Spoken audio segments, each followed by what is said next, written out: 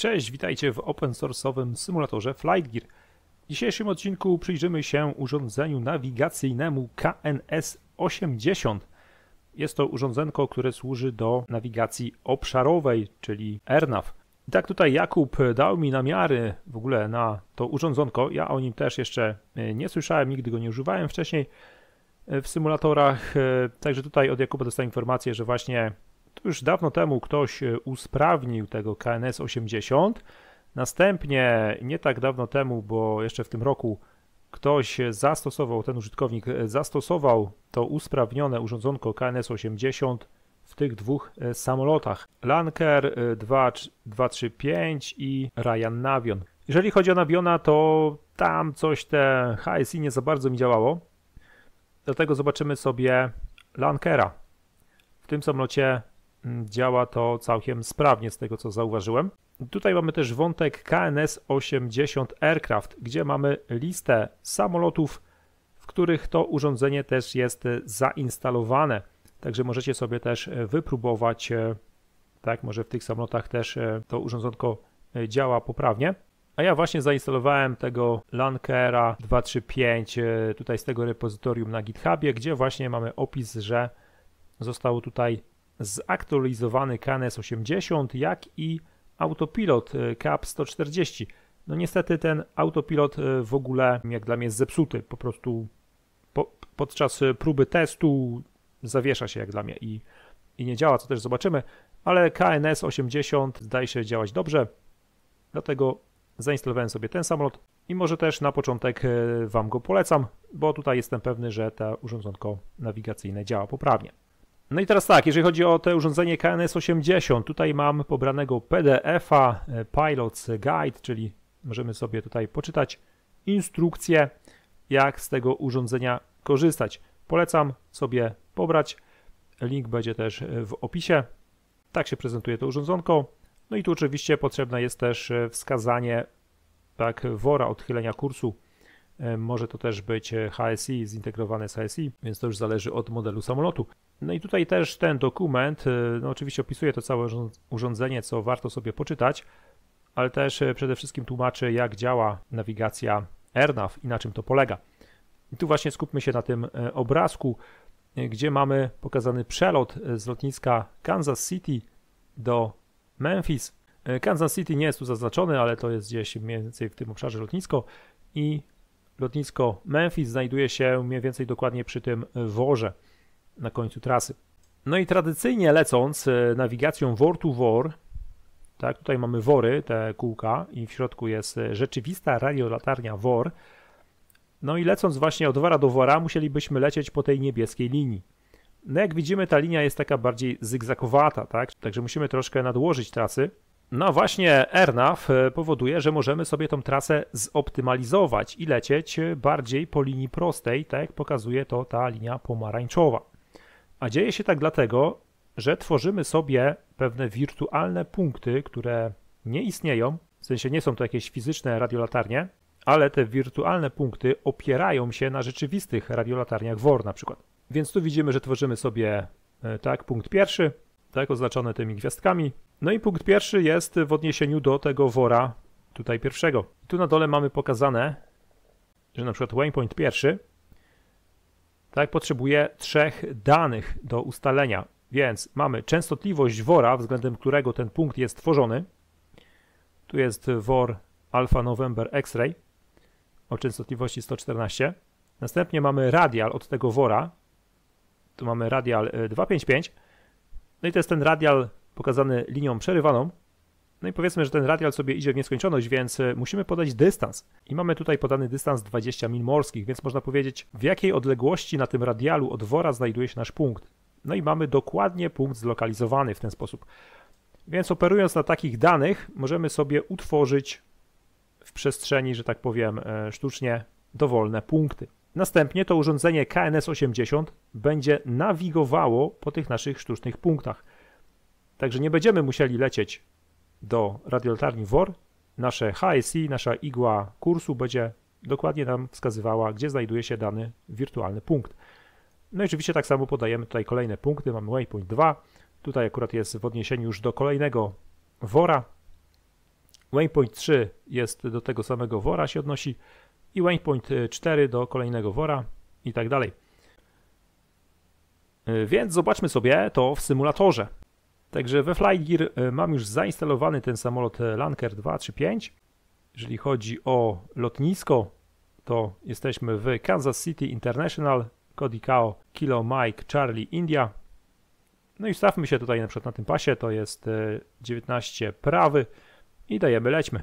I tak się prezentuje kokpit naszego samolotu. Niestety sam samolot e, no, ma jeszcze pewne mankamenty, na przykład nie ma włącznika baterii. Nie wiem, czy tak powinno być, ale wydaje mi się, że nie. w każdym razie tutaj od razu mamy zasilanie z baterii mm, jakieś e, podłączone. Tutaj tak się prezentuje z zewnątrz. No, taki mały samolocik. Możemy włączyć światło beacon, światło nav. Tu mamy iskrownik, więc y, odpalamy silnik, tylko jeszcze może troszkę zwiększymy ciąg. Tu dajemy na starter. Dobrze, silnik się uruchomił. Więc włączamy tutaj Radio Master. Y, tu mi coś pika, może zmienię częstotliwość. Dobra, Mieliśmy dostrojenie do jakiegoś e, wora może i teraz zobaczmy sobie nasz stos radiowy. U góry mamy autopilota, właśnie ten CAP 140, który też miał być poprawiony, ale jak zobaczycie wcześniej tutaj starał się wykonać jakiś test, e, zabłysnęła czerwona lampka, ale wszystko się zawiesiło. I test według mnie się nie wykonał i nie mogę nastawić baro, nic nie mogę zrobić. Także jak dla mnie e, CAP 140 jest niestety zawieszony, dlatego będę używał autopilota tutaj z Flight Geara po prostu. E, no i dalej mamy nasze urządzonko KNS-80, czyli gwiazda dzisiejszego odcinka. Może tutaj ustawię sobie kamerę bardziej na wprost. No i tak, u góry tego urządzenia mamy panel wyświetlacza i na dole mamy przyciski do sterowania. Tutaj mamy główny włącznik, tak? Możemy to wyłączyć. Kręcąc w prawo zwiększamy głośność e, odczytu e, kodu Morsa danej radiolatarni, do której się dostroimy. W tej chwili nie jestem dostrojony do niczego, bo takiej częstotliwości nie odbieram w pobliżu, więc e, tu mamy zakreskowania też, które pokazują, że niczego nie odbieram. Także włączmy to sobie, ale może tak sobie troszkę to ściszę. Dobra. Także tutaj od lewej u góry mamy trzy wskazania DMI. Tak, czyli mamy dystans do naszego punktu, do którego będziemy lecieli w milach morskich. Mamy prędkość względem Ziemi, w jakiej aktualnie lecimy i mamy czas w minutach, e, czyli czas, e, kiedy osiągniemy dany punkt, do którego lecimy. W tej chwili wszędzie mamy zakreskowania, co oznacza, że też właśnie nie mamy żadnego odczytu. Tutaj na dole będą nam się wyświetlały różne tryby pracy i w tej chwili mamy tryb pracy WOR, co oznacza, że nasza nawigacja będzie nawigować e, po prostu dokładnie na WORa, nie na nasz sztuczny punkt, tylko po prostu na rzeczywistą radiolatarnię WOR. I ten WOR działa też w dwóch trybach, tak? Tu mamy dwa przyciski Mode mamy przycisk WOR i ten WOR działa w dwóch trybach. Możemy to sobie, możemy wciskać przycisk WOR i przełączają się nam dwa tryby. Mamy zwykły WOR. Zwykły WOR polega na tym, że tutaj ta jedna kropeczka odchylenia naszej igły na tym HSI oznacza odchylenie kątowe o 2 stopnie, tak? Czyli jedna kropka oznacza odchylenie na przykład w prawo o 2 stopnie, tak, druga kropka to już o 4 stopnie i tak dalej. Tak, czyli zwykły WOR to jest odchylenie kątowe, a jak przełączymy się na paralar WOR, no to mamy odchylenie liniowe, co oznacza, że jedna kropka to jest odchylenie jednej milimorskiej, tak, druga kropka to dwie milimorskie i tak dalej. No i oczywiście mamy odchylenia w lewo, jak i w prawo. Maksymalnie mamy 5 kropek, czyli mamy maksymalnie odchylenie 5 milmorskich. Jeżeli mamy więcej, no to ta wskazówka już nam więcej nie pokaże. Tak, wskazówka, czyli ta środkowa igła, która w tej chwili jest w centrum więc mówi nam to, że nie mamy odchylenia, ale nie mamy odchylenia, dlatego że też mamy NAV wyłączony. No ale dobra, przejdźmy dalej. Kolejny tryb to jest nasz AirNav, tak? czyli coś, po czym chcemy lecieć i coś, y, do czego to urządzonko zostało stworzone. Jak przełączymy się na AirNav, y, to, to właśnie jesteśmy w trybie AirNav. Tu też mamy dwa tryby. Pierwszy tryb to jest y, on route, czyli na trasie.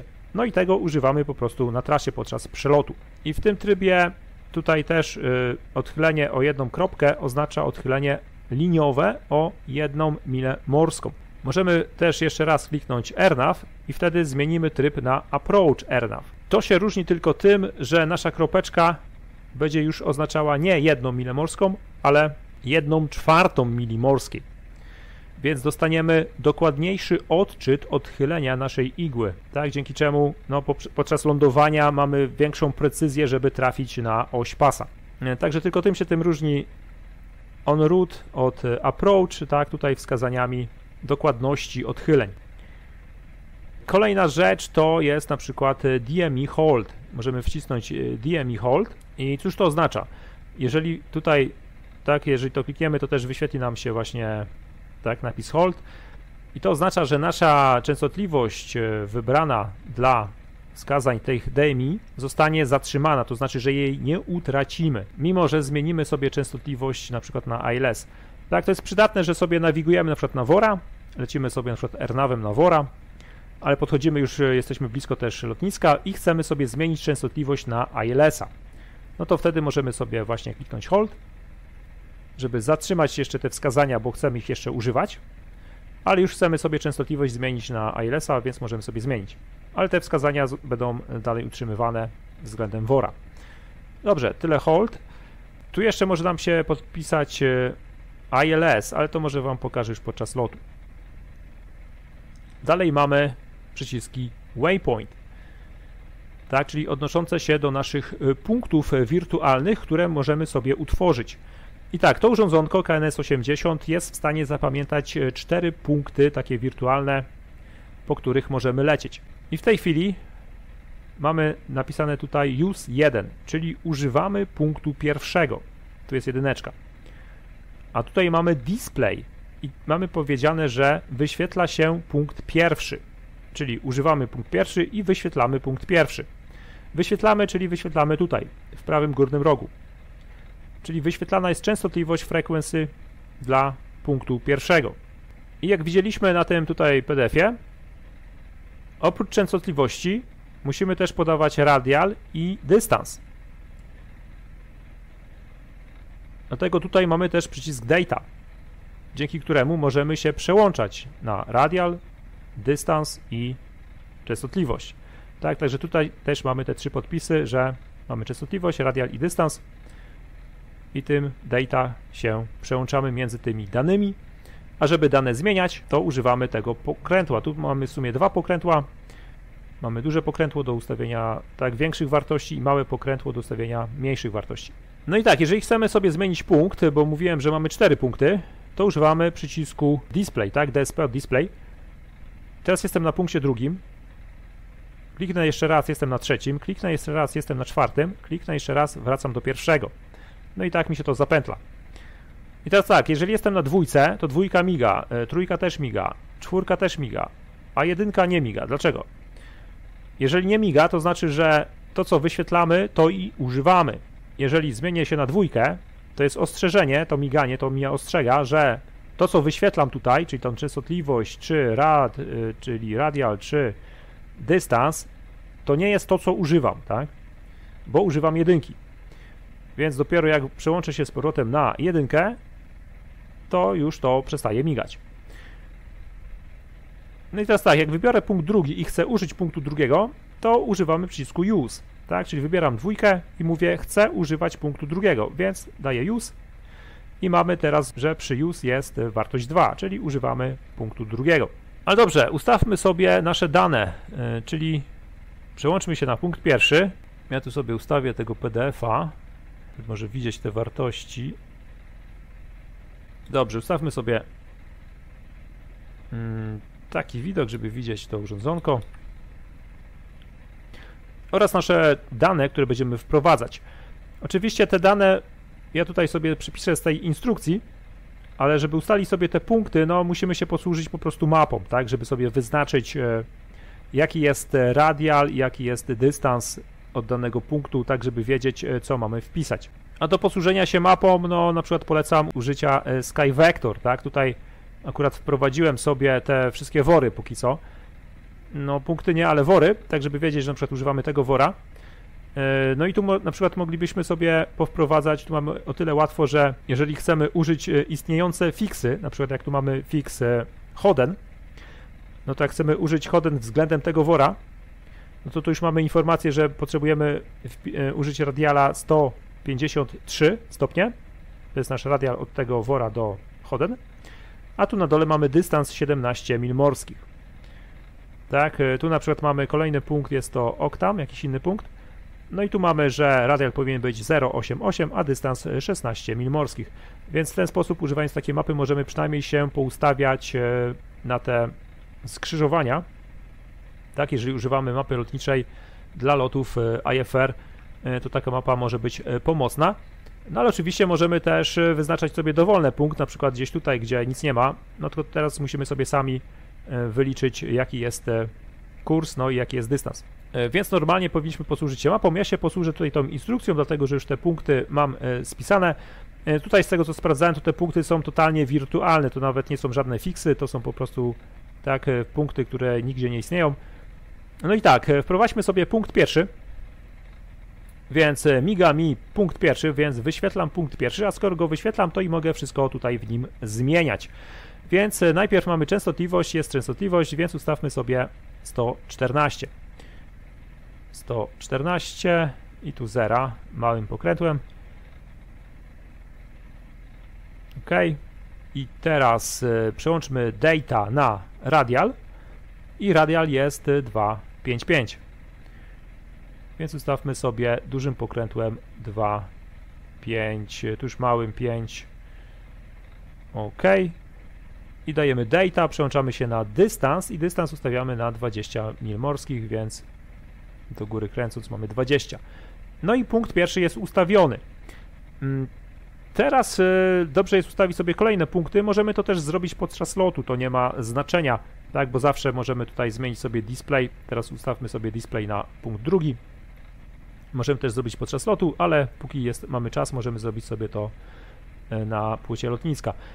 Także ustawmy sobie teraz częstotliwość naszego drugiego wora e, Sierra Golf e, Foxtrot. To jest 116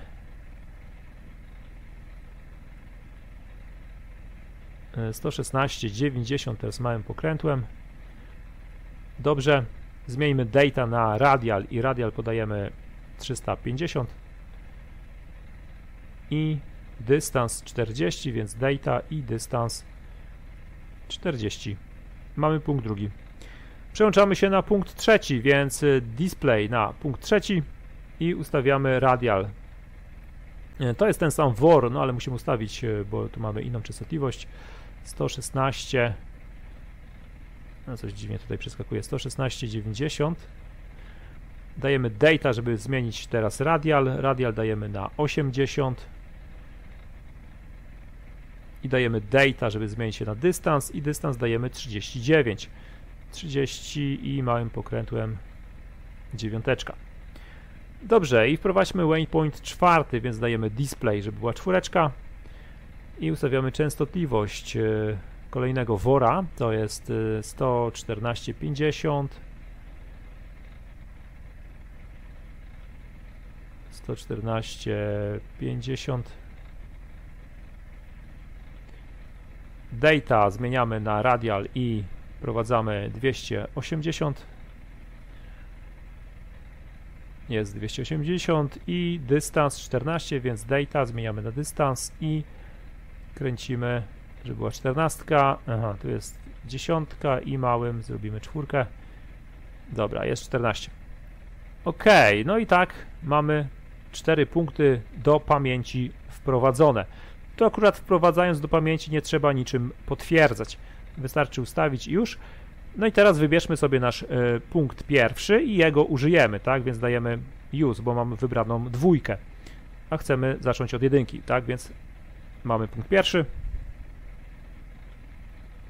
I tu od razu widzimy, że pokazuje się już jakieś odczyty, dlatego że w tej chwili oznacza to, że powinniśmy być y, w pobliżu naszego wora, no ale właśnie ten wory nie są jeszcze tutaj wprowadzane na mapę. Ja je sobie wprowadzę, żeby mniej więcej je widzieć. Co prawda nie będziemy po worach lecieć, ale to mi się przyda mm, w tym filmie, więc dajmy sobie planowanie lotu i wpiszmy sobie te wory Alpha November X-Ray, dalej mamy Sierra Golf Foxtrot, dalej mamy Alfa Romeo Golf, no jest jeszcze tutaj ten ostatni wor, przy którym już jest lotnisko. To jest wor Mike Echo Mike. I też go sobie dodajmy. Dobrze, no i teraz powiększmy sobie Flygira. Teraz możemy zobaczyć na mapce, jak wyglądałaby nasza trasa, gdybyśmy latali od wora do wora. Ale jak mówiłem, my użyjemy sobie AirNav, więc będziemy latali bardziej po linii prostej między tymi worami. Dobrze, ustawmy sobie teraz kamerę z powrotem na fotel pilota. Teraz tak, kolejna rzecz, y, dosyć ważna rzecz, jeżeli chodzi o ten samolot, bo do tego samolotu, żeby używać KNS-80, żeby ten wskaźnik HSI używał z, ze wskazań KNS-80, musimy używać y, tutaj źródła jako NAV2, a nie NAV1. Tak? NAV1 to jest to radyjko tutaj.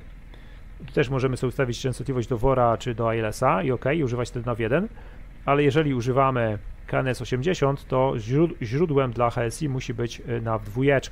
Dlatego ustawmy sobie tutaj NAV2. Tu też możemy sobie włączyć jakieś źródło, na przykład NAV2 niech będzie. Kolejna ważna rzecz, która może być przydatna w innych samolotach, tutaj raczej tego nie uświadczymy, ale jak wejdziemy sobie w wyposażenie GPS, to w innych samolotach zauważyłem, że ten checkbox jest domyślnie włączony. No i tam ten samolot też używał NAV1, jeżeli chodzi o źródło dla NS80, więc włączenie tego checkboxa psuło nawigację, no bo wtedy e, lataliśmy po GPS-ie, a nie po radionawigacji, a KNS80 działa na radionawigacji, więc wtedy tego checkboxa musimy odznaczyć, tak jak to mam teraz. Ale w tym samolocie powinno to być ok, ale tak uczulam, żeby tak sprawdzić to w innych e, samolotach. No i dobrze, myślę, że jesteśmy chyba gotowi do, do lotu, także mamy nasze punkty wpisane, możemy tu sobie jeszcze je sprawdzić, ale możemy też zrobić podczas lotu. Tak, upewniamy się, że właśnie mamy wybrany tryb AirNav on route, czyli na trasie, także tak jak teraz. Jeszcze taka ciekawostka, że ten samolot w rogu ma taki jeszcze nadajnik GPS, z którym się też jeszcze nie spotkałem. Tutaj mamy takie proste wskazania, na przykład o jak sobie tutaj lecimy, czyli nasza pozycja, wysokość, heading, speed i tak dalej. Tu możemy sobie jeszcze jakieś wyszukiwanie zrobić. E, no ma, ma tu parę trybów pracy, ale tym akurat GPS-em się nie będę teraz zajmował. Także e, włączmy sobie jeszcze może stroby, światło lądowania i będziemy startować i zobaczymy sobie jak działa, e, jak działa to, ta nawigacja AirNav w tym samolocie. Tutaj ważna rzecz, że jesteśmy, tak jesteśmy w tym trybie, ale jeszcze nawigacja nie działa, bo jesteśmy na ziemi. Gdy wystartujemy, to ta czerwona flaga nawigacji powinna tak e, zostać zdjęta i powinniśmy dostać e, wskazania, e, gdzie, tak, odchylenie, gdzie powinniśmy lecieć. Tutaj mniej więcej, ale też mniej więcej możemy zobaczyć, że będziemy skręcać w lewo na wschód, mm, co oznacza, że przekręcę się od razu już trochę, no dajmy sobie na przykład 120, 120 kurs. Tu co ciekawe, nie działa heading bug w ogóle, też mamy czerwoną flagę i w sumie nie wiem czemu i od czego to zależy jeszcze w tym samolocie. I autopilot, tak, włączymy sobie autopilota, to znaczy podczas lotu sobie włączymy, ale sobie już też e, troszkę przygotuję tutaj danych, dajmy sobie e, kurs 120 i utrzymywanie wysokości dajmy 5000. No i jeszcze pogoda, pogoda i ciśnienie. Mamy 30-36 e, cala supertenci, więc ustawmy sobie E, takie ciśnienie na wysokościomierzu 30 i 36, no tu nie ma tooltipów, no ma takie samotnie doróbki, e, ale mniej więcej, dobra, gdzieś tutaj sobie ustawmy, dobra. Więc e, możemy startować, no powinniśmy jeszcze skłoka sobie jakiegoś wstawić, dajmy sobie 1, 2, 0, 0, dobra. Myślę, że teraz możemy startować. Także Shift B, hamulec postojowy zwalniamy. Page up, tutaj samolot będzie mi ostro skręcał w prawo z tego, co zdążyłem zauważyć.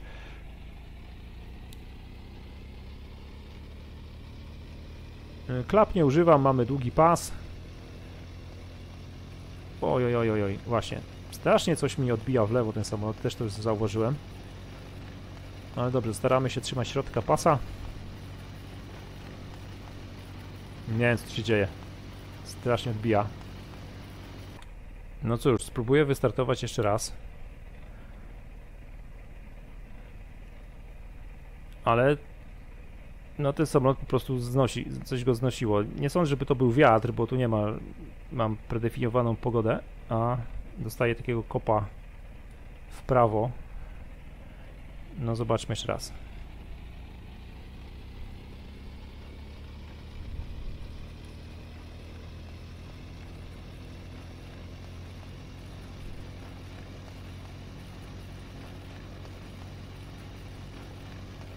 Dobra, wracaj na środek, wracaj. Jestem maksymalnie wychylony sterami w lewo. Jest coś nie tak z tym samolotem. Dobrze, jesteśmy na środku mniej więcej.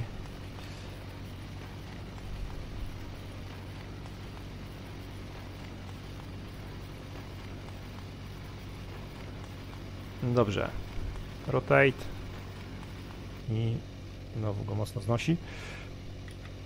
Dajmy klawisz G, bo tu mamy chowane podwozie.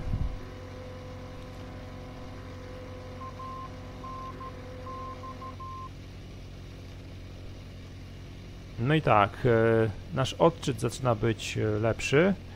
Już mi NAW e, czerwony schodzi tutaj wskazanie, dobra. Dobra, przejdźmy, przejdźmy na autopilota. Tutaj, jeżeli chodzi o wysokość, Polećmy jeszcze troszkę prosto, żeby tutaj e, wzdłuż pasa jeszcze troszkę polecieć.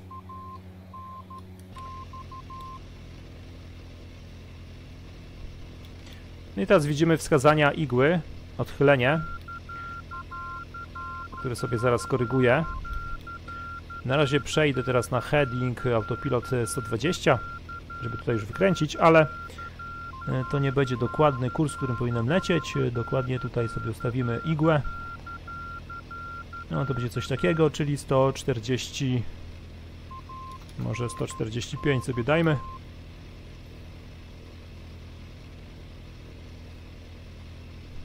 No i teraz widać, jak tutaj sobie lecimy też na mapce. Więc e, mniej więcej jestem na kursie do naszego punktu wirtualnego wedle nawigacji AirNav. Czyli ten punkt jest gdzieś tutaj i jak widać nie lecimy bezpośrednio do rzeczywistej radiolatarni WOR, która znajduje się tutaj, tylko lecimy gdzieś e, tak w wirtualnej przestrzeni. E, gdzieś tu jest ten punkt. No tutaj na mapce tego punktu wirtualnego nie widzimy. Tutaj e, Flight Gear nam go nie pokaże.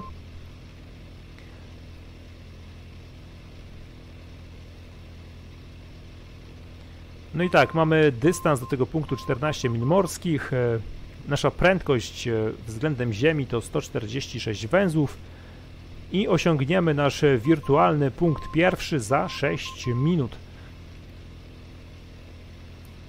Dobrze, wyłączę światło lądowania i wyłączę stroby.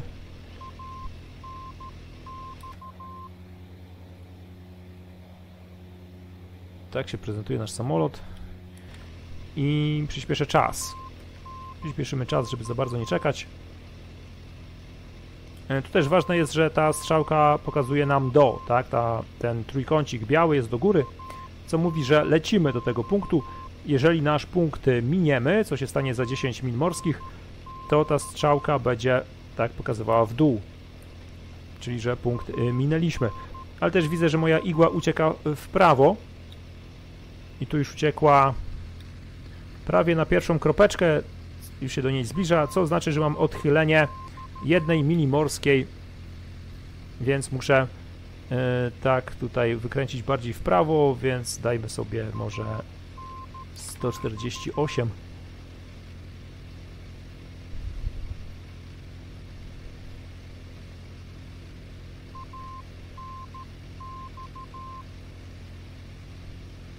i przyspieszy czas. Zobaczmy teraz.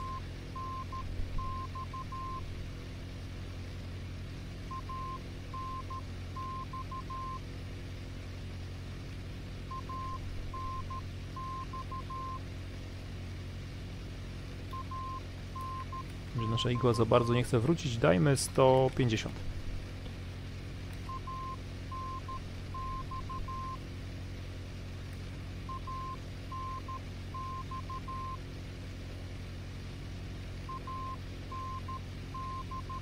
No już jesteśmy bardzo blisko naszego punktu.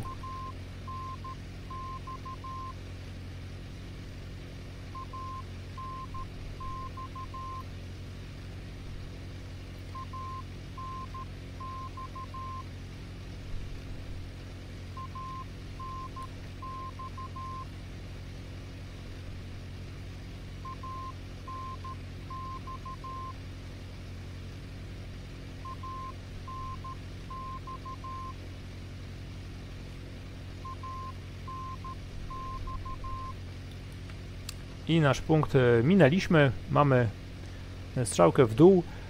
E, tu mniej więcej widzimy, że lecimy prawidłowo. Właśnie tak, nie leciliśmy na wora, tylko gdzieś na punkt. E, teraz skierujemy się gdzieś na ten punkt, tak, więc możemy jeszcze tak polecieć mniej więcej tym kursem. Może troszkę powinniśmy odbić jeszcze w lewo. Ale mniej więcej lecę prawidłowo. No i póki jesteśmy w tym zasięgu tego wora, to moglibyśmy jeszcze go sobie wykorzystać, albo możemy już e, przełączyć się też na punkt e, drugi i nawigować już do punktu drugiego. Tak więc, żeby przełączyć się do punktu drugiego, e, tutaj przyciskiem Display zmieniamy sobie na punkt drugi i potwierdzamy użycie przyciskiem Use. I przełączamy się na punkt drugi. Teraz widzimy odchylenie bardziej w lewo, tu jeszcze mamy słaby sygnał, bo jak widzimy na mapce jesteśmy na obrzeżach okręgu, ale jakiś sygnał jest y, i widzimy, że musimy skręcić bardziej w lewo, więc y, tu jeszcze się ustawię mm, tą igłą. No, dajesz odczyt? Ok, za bardzo. Ok, to będzie coś takiego. 120 130, może 5, 135. Więc wykręcamy bezpośrednio na nasz punkt drugi. I przyspieszę trochę czas. Tak, wysokość e, nam się troszkę nie ustabilizowała na 5000, tylko na 4800, nie wiem czemu. Kolejny jakiś mankament chyba tego autopilota, może dlatego, że baro nie ustawiłem na autopilocie ale już się nie da ustawić tu baro, jest właśnie autopilot zawieszony, co jest niestety felerem e, w tym samolocie. Ciekawe jest też to, że przycisk znika i go wcisnę.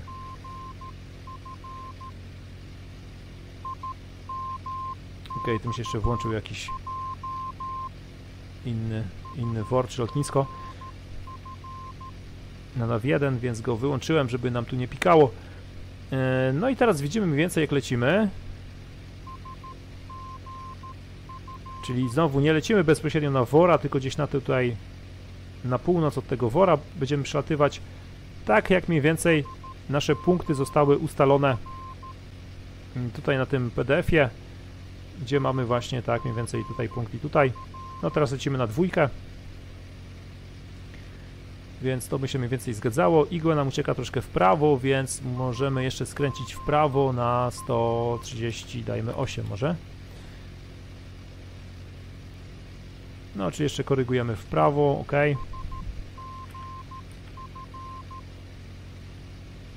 No i teraz mamy dystans 66 mil, więc trochę to potrwa, ja tu mocno przyspieszę czas.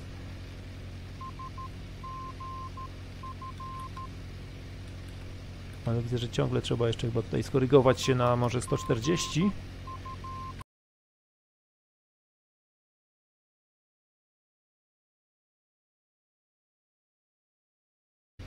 Dobrze, teraz widać, że nasza igła wraca bardziej na środek. E, skorygowałem się na 145 stopni.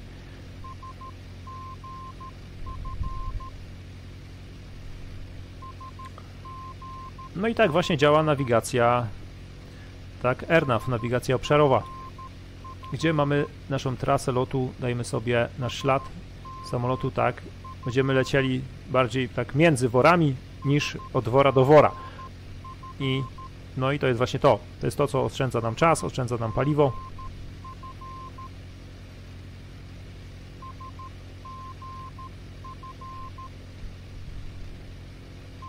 E, więc e, fajna sprawa, że mamy takie urządzonko e, też i we FlightGear.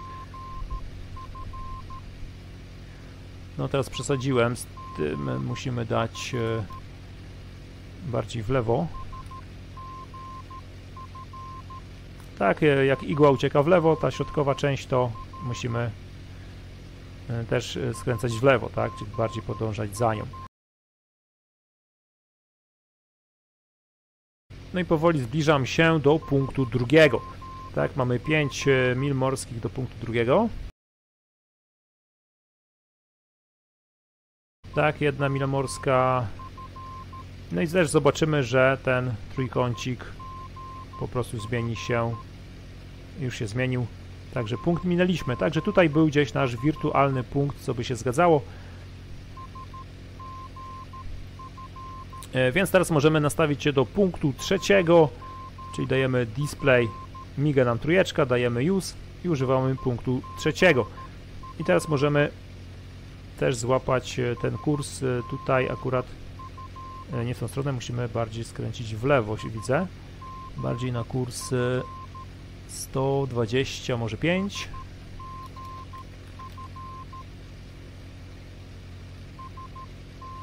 No i tam mamy 48 mil morskich, e, więc też e, spory dystans.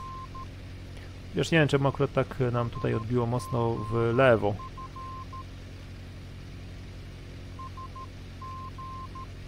No ale widzę, że już igła nam ucieka w prawo, więc e, na pewno będzie to wymagało jeszcze korekty.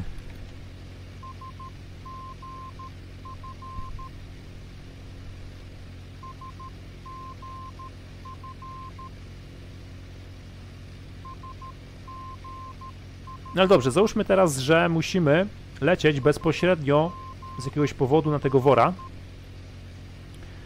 No jak to teraz zrobić, tak? Właśnie możemy posłużyć się trybem WOR. Więc przełączmy się na tryb WOR i teraz możemy lecieć bezpośrednio do radiolatarni, którą mamy obecnie wybraną, czyli tą Sierra Golf e, Foxtrot. Więc jeżeli sobie teraz ustawimy e, kurs e, nie w tą stronę, o w tą tak, to złapiemy mniej więcej południe no troszkę bardziej dalej tak, czyli na przykład 200 no prawie już 210 Stawmy sobie taki kurs.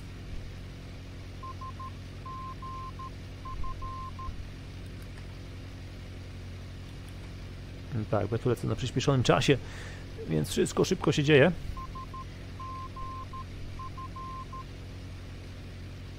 Teraz jest 121, czy 210, może dajmy 215.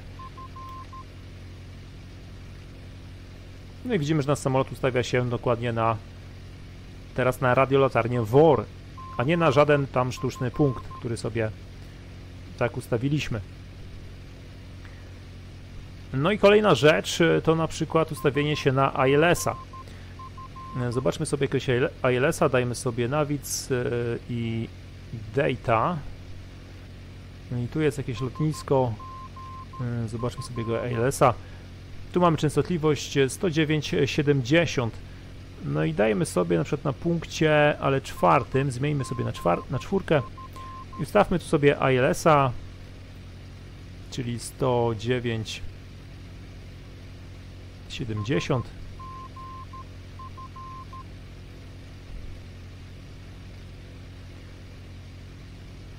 I teraz y, użyjmy sobie też tej czwórki.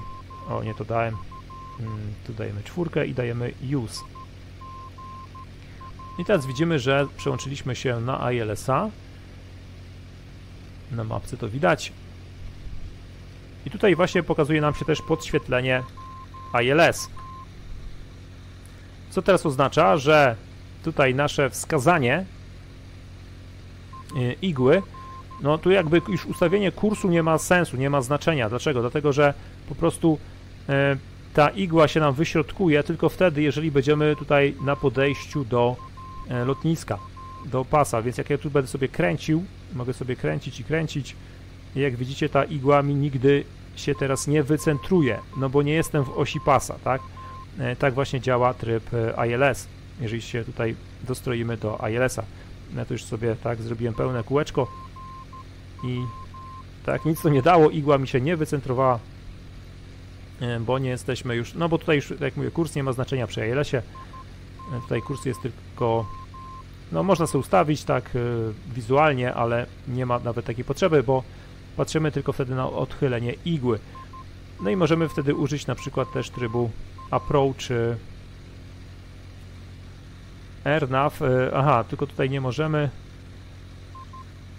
możemy? Możemy, tylko jesteśmy daleko, dobra, bo jesteśmy jeszcze poza okręgiem tutaj w ogóle tego mm, tak, ILS, ILS ma e, krótszy zasięg. E, No i tak to się prezentuje, tak? Tutaj jak mówiłem, tak, approach daje nam precyzyjniejsze tutaj odchylenie igły. Tak to wygląda tutaj nawigacja obszarowa z urządzeniem KNS 80, e, także możecie sobie też sami wypróbować i pobawić się tutaj wirtualnymi punktami nawigacyjnymi na waszej trasie. E, Także to tyle w tym odcinku. Do następnego razu. Cześć Wam.